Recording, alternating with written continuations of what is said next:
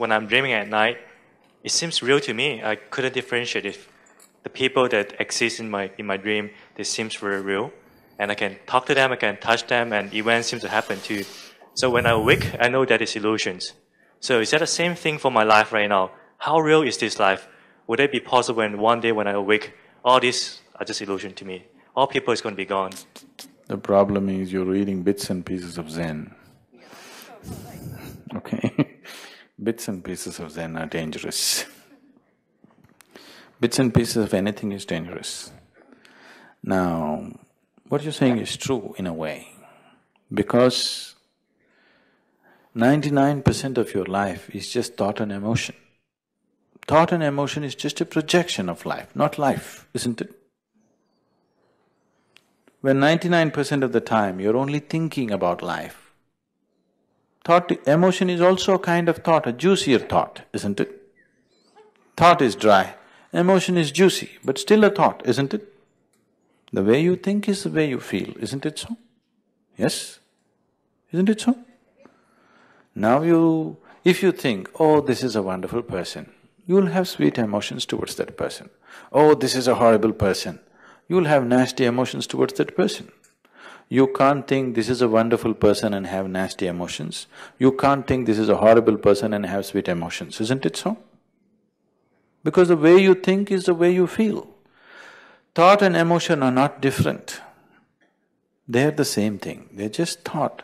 One is dry, another is juicy. Because it's juicy, it has a drag time, so you think they're different. So you can be thinking like this, Today you can be thinking this is a very wonderful person, tomorrow morning he does something that you don't like, suddenly you can think he's a horrible guy. Your thought immediately takes a right angle turn. But emotion cannot turn so quick. It takes a long turn. It takes a few days or a month, but after some time it'll come and join the thought, isn't it so? Yes? It has a drag time. Emotion will not turn immediately, so you think they're different, they're not different. They are same, it is just thought, one is dry, another is juicy. So your whole life is just thought and emotion. So it is very much like a dream. It is. So, now that you are on to Zen, you must know about Chuang Tzu, who went about doing this. Chuang Tzu was a great Zen, Zen master. In his monastery, he had many monks and he is a recognized master. One day morning, suddenly he is in great state of misery. So when they saw the master in misery, everybody got terrified. If the master is in misery, something really bad must have happened because always he is joyful and nice. So senior most monks slowly approached him and asked, Master, what is happening? Said, don't you disturb me, I'm in a deep distress, get away. They said, if you are in distress, that should be death for us. Please tell us what is causing distress to you. Then Chuang Tzu said, Oh, yesterday night in my dream I was a butterfly. And the monk said, What is wrong being a butterfly? We've been many things. Sometimes we've been pigs, we've been birds, we've been many things. That is no problem. Butterfly is quite good. What's wrong with the butterfly? Said, you idiots, you don't understand, when I was a butterfly, I actually flew. I went and sat on the flower, I could feel the flower, I could smell the flower, I could taste the flower, it was all real.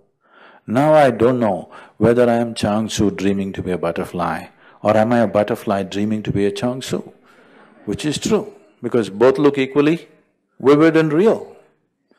When you live just on the thought process, this is how it is.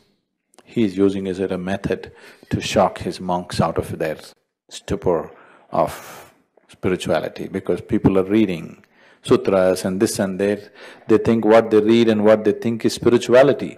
So he's trying to knock their psychological structure out so that they become existential. If you're experiencing life, life, not thought, not emotion, life, if you're experiencing life as such, such a question will not come. But when most of your life is just thought and emotion, it is very true, it is very much a dream, it's just another projection.